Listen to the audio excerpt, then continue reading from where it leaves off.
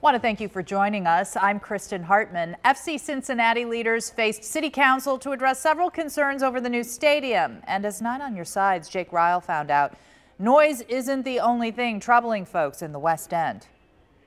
Well, these are hurdles FC Cincinnati is finding well before the big construction begins. One of them, Cincinnati's Music Hall, the other, the road right next to it, Central Parkway. For FC Cincinnati, all is quiet right now.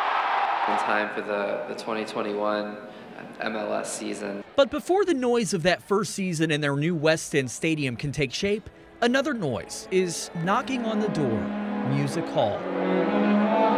Uh, there will be sound intrusion in rehearsals and performances uh, based on the methodology and the science behind the study. That report says the noise from the new stadium would have an impact on concerts. Well, acoustics is a complex science, and, but it is a science. That's why Jeff Berding says it's important to fight science with science. We've gotten our uh, uh, own engineer involved and uh, we'll sit down and, and have a better understanding of their findings and, and go from there. So, what's the next step?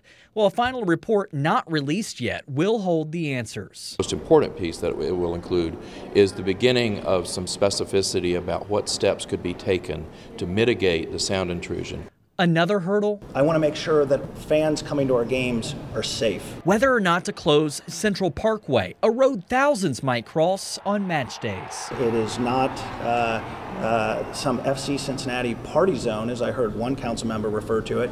It's a public safety issue.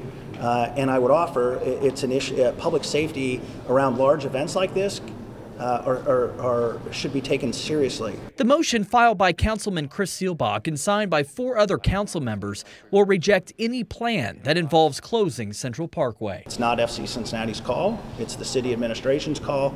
Uh, they're the experts on public safety.